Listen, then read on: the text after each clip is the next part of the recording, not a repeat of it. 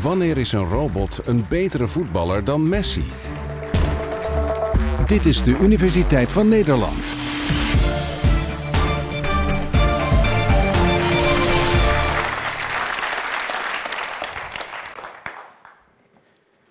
Wat is er nodig om te voetballen? Ik ga proberen vandaag aan jullie vertellen wat, hoe kan een robot eigenlijk voetballen? Wat is er nodig? Wat moet hij doen? Maar voordat ik daar aan begin, wil ik even iets kort eh, vertellen over robotica als vakgebied. Robotica heeft altijd de mensen geïnspireerd in de jaren. En wanneer is het begonnen? Nou, dat, dat weet ik niet. Dat weet niemand. Maar er is wel een voorbeeld dat ik uh, expliciet wil noemen. En dat is een voorbeeld natuurlijk een van de, van de creatie van uh, Leonardo da Vinci. En die heet de Leonardo Ridder. En wat is het eigenlijk? Het is een uh, systeem, een redelijk complex systeem voor die tijd. Dat was heel ingewikkeld voor die tijd. Het is een verzameling van veren, van, van tuitjes, van katrolletjes. En die werd dus in 1495 bij de hof van Ludovico Sforza in Milaan gepresenteerd door Leonardo. En wat uh, die object, robot kunnen we wel noemen, de naam robot bestond nog niet toen die tijd natuurlijk. Uh, wat hij deed, die kon zitten, kon opstaan, die kon de armen bewegen. En, en, en dat was natuurlijk voor die tijd heel indrukwekkend dat een creatie de machine was die er eigenlijk wat, wat beweging kon, uh, kon doen. Maar als ik denk aan mezelf, wanneer eigenlijk ben ik begonnen om over robotica te denken. Dan moet ik denken aan, aan de eerste avond die dan Star Wars kwam. En ik was een kind en mijn vader heeft me toen die tijd gebracht. Dat, dat was ontzettend belangrijk voor mij. En eigenlijk, wat we nu, uh, nu zien, uh, zijn de robots die als eerste robots gezien hebben. Als ik groot ben, dan wil ik werken, wil dit soort dingen gaan doen. En uh, nou, daar hou ik me nu bezig. Dus wat ik doe, ik probeer met mijn team te werken aan systemen, aan robots, die eigenlijk gebruikt kunnen worden voor verschillende doeleinden. Bijvoorbeeld in, in, in, voor medische toepassingen, voor veiligheid en voor andere dingen dat we zullen zien. Maar even terug naar het voetballen. Wat is er nodig om goed te kunnen voetballen? Nou, de eerste, het allereerste wat nodig is, is zien. Wat heet perceptie? Perceptie is eigenlijk het waarnemen van informatie van de omgeving. Dus een goede voetballer moet weten waar de bal is, waar die andere spelers zijn, van een team en van die andere team. En op basis van die informatie moet eigenlijk een strategie, strategie verzinnen en een planning maken om die te actueren. Nou, om, om even een voorbeeld te geven, uh, wil ik eigenlijk doen met een kopje. Als ik hier kijk wat het op tafel staat, ik zie een kopje. En, en ik, ben, ik heb het 3D beeld verwerkt, dus ik ben in staat ook diepte te meten, omdat ik twee ogen heb. En wat ik dan weet is, tenminste wat ik verwacht, is dat de beker los staat van de schoteltje erin. Dus als ik bijvoorbeeld die beker wil pakken, wat ik zal gaan doen, is die pakken en optillen. Maar ja, als iemand grapje dit gelijmd heeft met een schoteltje en een schoteltje aan de tafel, mijn reactie zal onverwacht zijn. Omdat natuurlijk dat is niet wat ik verwacht van, van een schoteltje. Hetzelfde is met een krant. Dus ik heb een bepaalde kennis over die kranten staan op elkaar. En voor mij is het heel eenvoudig te begrijpen en te zien dat de eerste is los van de tweede, et cetera, et cetera. Zoiets heet segmentatie. Dus je bent in staat om te observeren en objecten van elkaar te scheiden. En een, wat het heet een semantische uh, uh, begrip te geven. Ik weet dat dit een beker is. En wat het onder staat, een kopje, en onder staat is een schoteltje. Nou, en in het voetbal is precies hetzelfde. Je hebt de bal, je hebt de spelers. En op basis daarvan kan je redeneringen doen. Dus wat het allerbelangrijkste voor perceptie zijn zintuigen. Nou, hier hebben we een aantal voorbeelden van zintuigen van een robot. Bijvoorbeeld, wat we hier zien is een laserscanner.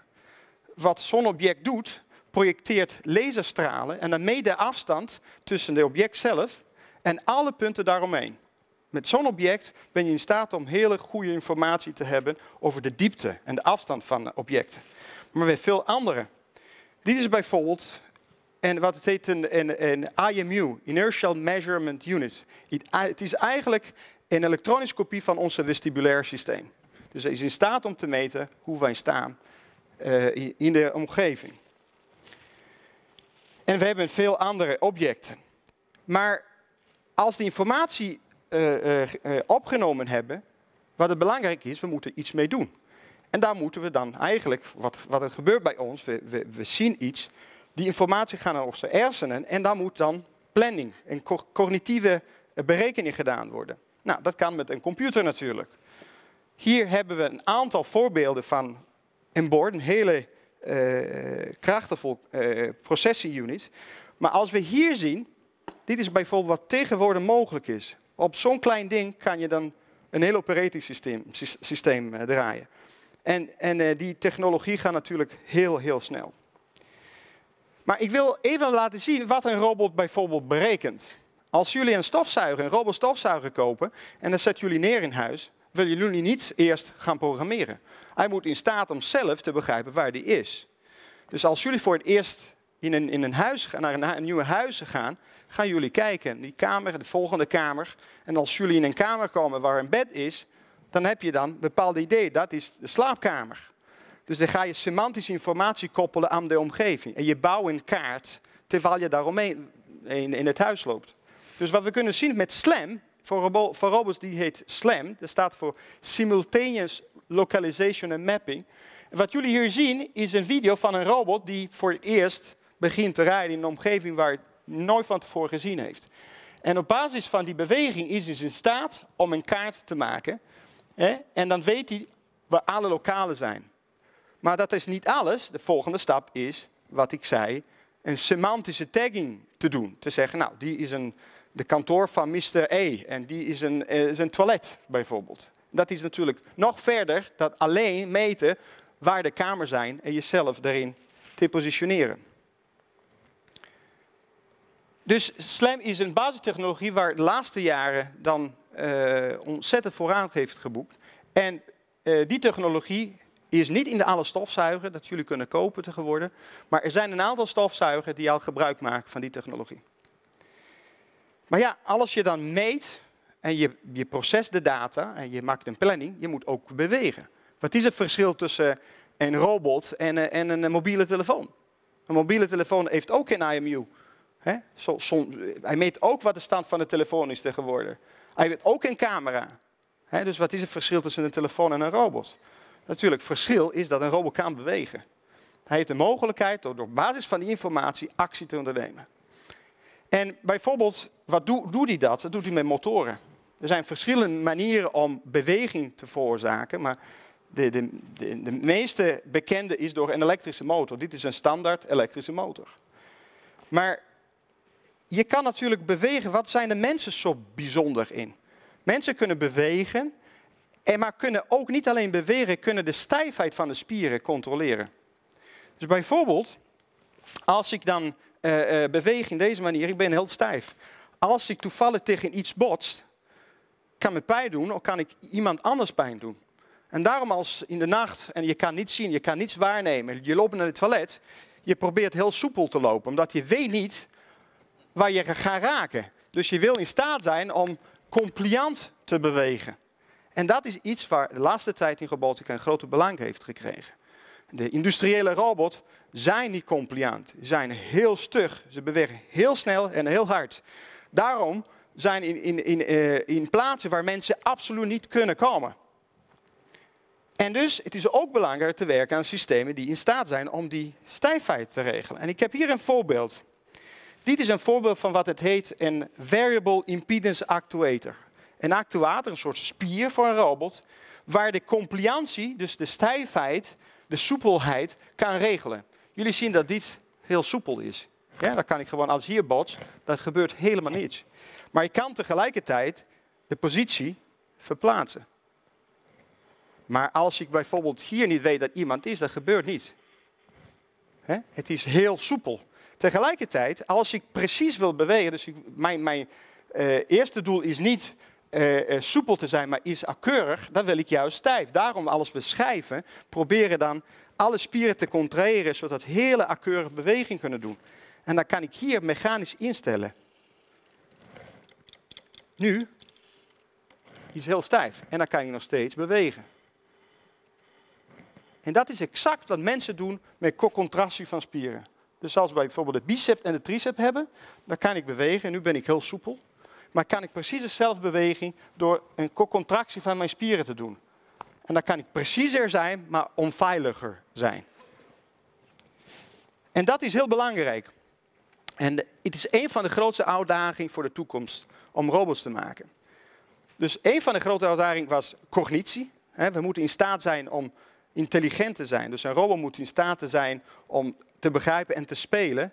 Maar er is ook de grote uitdaging is om de spieren, spieren te maken die in staat zijn om soepel of juist soms uh, uh, heel precies te kunnen bewegen.